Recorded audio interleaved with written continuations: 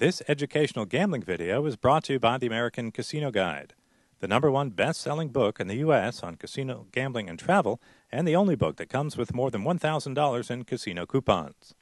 If you want to know more about the book, be sure to visit our website at AmericanCasinoGuide.com. This video features Jean Scott, who is also known as the Queen of Comps, and is about how to save money when planning a Las Vegas vacation. Jean is an expert on saving money in Las Vegas, and she has written several books on the subject, including Frugal Video Poker, The Frugal Gambler, and More Frugal Gambling. And now, here's Jean Scott. The first thing you want to do when you plan a trip to Las Vegas is you want to choose the best dates.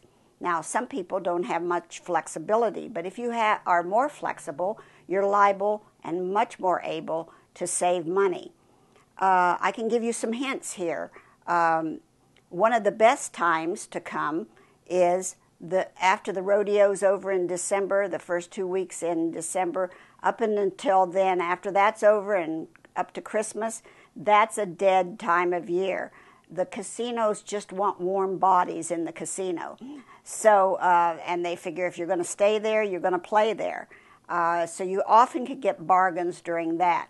As a general rule, if you're not flexible, uh, a weekday uh, trip is better than a weekend trip.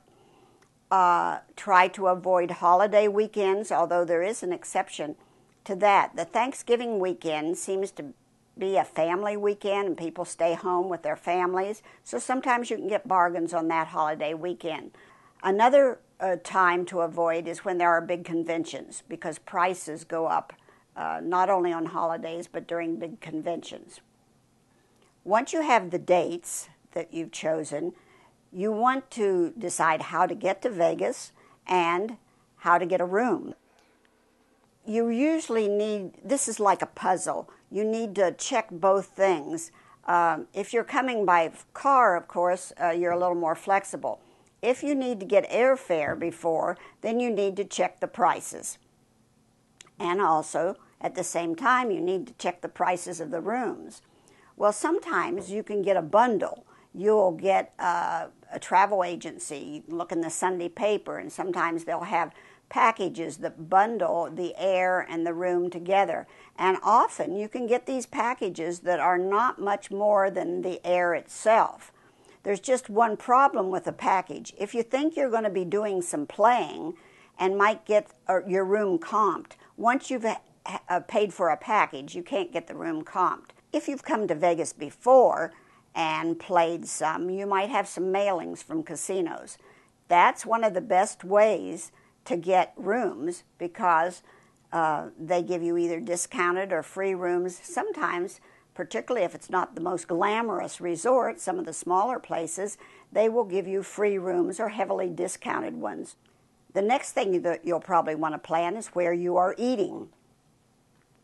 I have a really good tip for that as a frugal tip, and that is eat a late lunch as opposed to a dinner. The lunch prices are always cheaper than the dinner rate. And then underneath that, there's a little trick. If you're going to a buffet, a lot of buffets in Vegas don't shut down between lunch and dinner. They kind of keep going, but let's say they stay open till 3:30 or 4 for lunch and then they raise the prices sometimes as much as $10. It always was funny to me when I would be in the casino uh, buffet and I would see people lining up at five minutes after four, and I, I was there at five minutes before four because the rates change at that, and you get the same food. Uh, they start bringing out the uh, little more exotic uh, offerings. So that's one of my best tips. There's another rather new development in food bargains in Las Vegas, and that is the package deal uh, check out once you've chosen your hotel where you are going to stay or one that you're going to visit. Sometimes they have all day packages. Uh, you pay one price and you can eat there. This is usually for the buffet breakfast, lunch, and dinner. And you can go twice each meal period if you want to. Now, this is for the heavy eaters, uh, and it's for people that uh, don't want to be too adventuresome to eat at the same buffet in the same hotel for all three meals could get pretty boring, and particularly if it's not the best buffet in the world. So if you know that it's a good buffet and that you can do that, but if you're going to be running all over town, uh, that might not be uh, convenient for you to come back for your free meal. There is another package that makes the time frame a little better, and that Harrah's has a package where you pay one price, and I think it's for like 24, 36 hours or something, and you can go to any Harrah's property buffet and eat. Again, this is for the big eaters that want to eat buffets three times a day, maybe four, and you have to really organize yourself to get around and check out the times and, and make out a schedule so you can get a good amount for your money. And also, this is much cheaper if you have a Harrah's card. So, uh, in almost all of these, you need a slot card. There's a specialized hint that I have here. If you're around the sports book, or even if you're not a sports nut and you're hungry for a hot dog, at all the coast properties and at South Point, there's almost always a hot dog wagon near the sports book for all those hungry sports bettors. And usually you can get a hot dog for anywhere from 75 cents, a dollar, maybe a dollar and a quarter, and with all the toppings that you want. And that's a real bargain if you come to Vegas, you probably just don't want to go to your room and stay there. Obviously, you want to uh, roam around and visit different casinos. And so people want to know the best way to get around. Well, the first thing you sometimes have to get from the airport to your room. I have a little warning here be careful. Taxi rates are very, very high uh, in Vegas, some of the highest in the nation. And we have been known in Las Vegas, our taxi drivers, to take you the long way. So be aware of what they call long hauling. The one time a taxi might be a good uh, bargain is when there are a group of you, and then that cuts down. If you have just one or two people, the bus system is pretty good. There's a bus that goes up and down the strip, and particularly the bus goes downtown. So if you want to go downtown, which is a good little ways, um, that's a, a frugal way to do it. And sometimes there are shuttles. For instance, there's a shuttle uh, from the Hard Rock, which is off the strip, to the strip. And some of the other casinos do have. So if you're staying off the strip, ask your uh, ask at the front de- desk if there's a shuttle. Uh, the Palms is off the strip, and they have a shuttle. One shuttle that goes all the way around is the Coast Property shuttle, and it goes to the Orleans, the Gold Coast, and then Bill's that's on the strip. So that's free. Uh, one way to get around town, not my favorite way, but uh, could be useful depending on where you're going, is to ride the monorail. The monorail is on the east side of the strip. The problem with the monorail is if you're on the strip, you, it seems like you walk miles to get to the monorail station. So and then if you're only going a short distance, you think, well, I should have maybe just gone down the strip and walked down the strip. But you kind of have to look. Uh, another thing that some people do is they rent a car. Now, Las Vegas traffic, particularly around the strip, is horrendous. And a lot of people aren't comfortable. But if you have a group and you have a, a, a driver, car rentals are very, very expensive now compared to two or three years ago. Uh, there are coupons uh, that you can get on the internet. You can go to the, uh, if you have the American Casino Guide, uh, they have a coupon for rentals in there. Uh, sometimes it would be a frugal option, but not just for one or two people. Another option that I think is interesting for just sightseeing around town, there are nightclub tours. Like if you want to go to several nightclubs, but you don't exactly know how to do that on your own, one of the tours will take you around and you don't have to stand in line. They get you right in. And also, just for going up and down the strip, there's an open deck, double decker bus uh, like you have in England. And that's kind of fun, especially if the weather's good, to go up and down the strip. Of course, if you're in Las Vegas, you're going to say, Well, I want to see a show. And there are so many shows to choose from. All right, here's the rule of thumb the bigger the show, the more popular the show, the more expensive it's going to be, and there's less likely that you're going to be able to get a comp or find a discount. So there are a lot of what I call second level shows that are in the afternoon or in the evening, particularly comedy shows.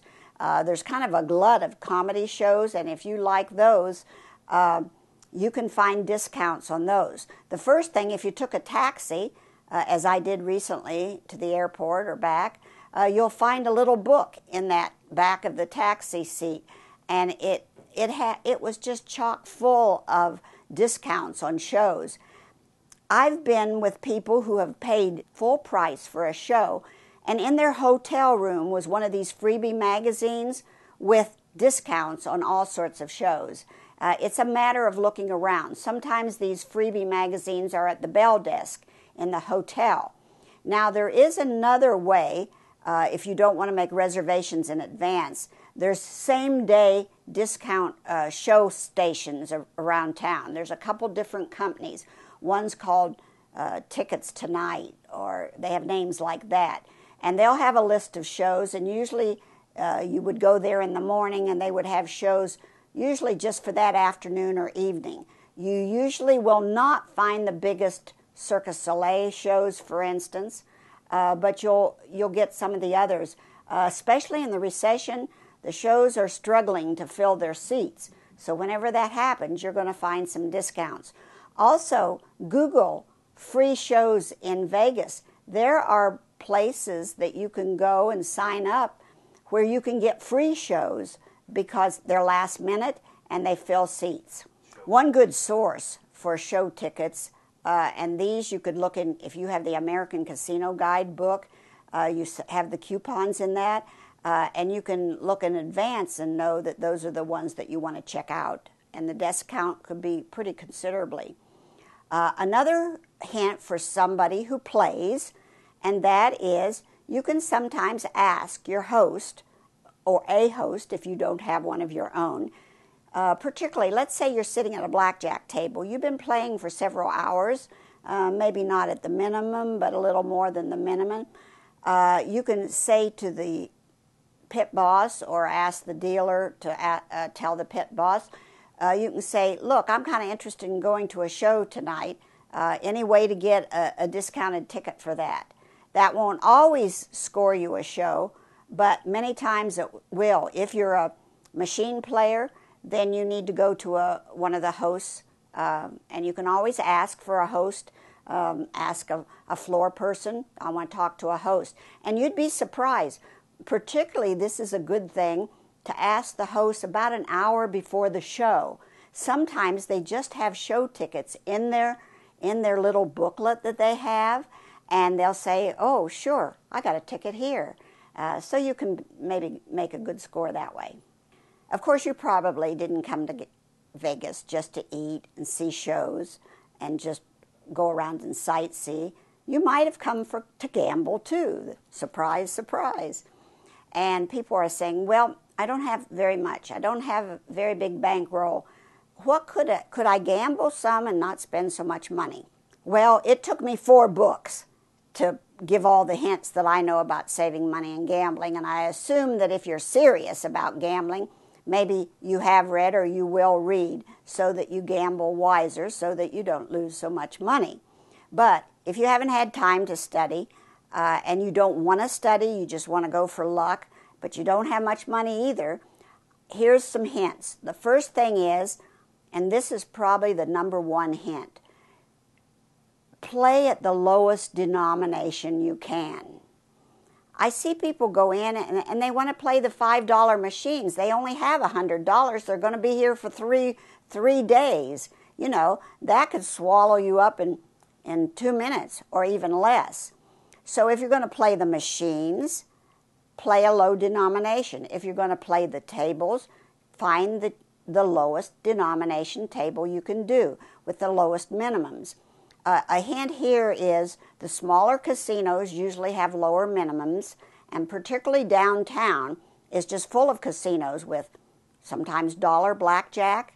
Uh, you can usually find lower minimums during the week than on the weekend, but downtown you can always find them.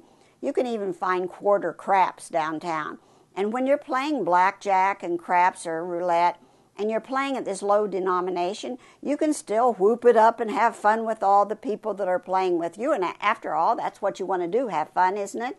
You can order the same drinks as the people in the high limit. And so, even if you play just pennies, people say, okay, I don't have hardly any money at all. I say, and I want to play the machines. Okay, find a penny machine that has the fewest lines that you can find. Sometimes they're just 20 lines. Don't have one of these that's got 500 lines. 20 lines, then play one penny a line. A little trick is, and a little hint here, is that if you play every line, even the minimum of each line, you're going to get all the bonuses. Uh, the little pictures that come up, the little games, extra bonuses, and so forth. Obviously, your bonuses and stuff won't be as big, but you can have the fun of the bonuses.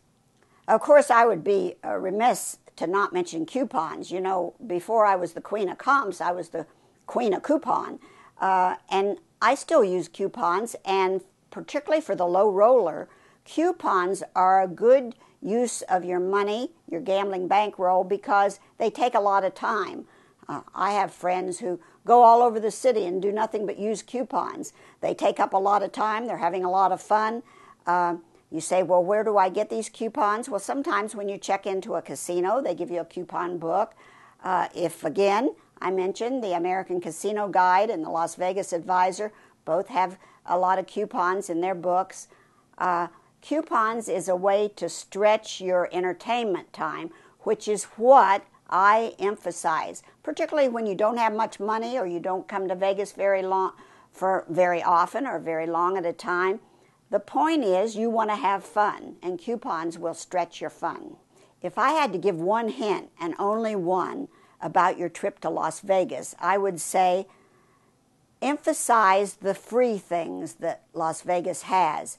If you just Google free activities in Las Vegas, you will be amazed what you can do. I can just name probably a dozen right off. You know, you can watch the gondolas uh, at the Venetian. Uh, you can watch the uh, volcano erupt at the Mirage. You can watch the dancing waters at Bellagio. I could go on and on. And there are internet sites that list literally hundreds of free things. I have had friends come to Vegas who did not gamble, and they did not ga- gamble, and they kept busy every minute they were here by just doing free things. If you want to know more about me and some of the things I've written, you can go to my website, which is queenofcomps, no spaces.com. And on there, there will be a list of the books I have written, the Frugal series. A lot of them will show you how to play video poker and have more fun in Las Vegas. Don't forget that you can see more of our educational gambling videos on our YouTube channel. Just go to youtube.com slash American Casino Guide.